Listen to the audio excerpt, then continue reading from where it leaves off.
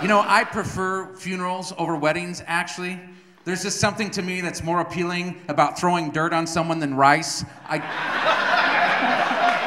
it just feels good, you know?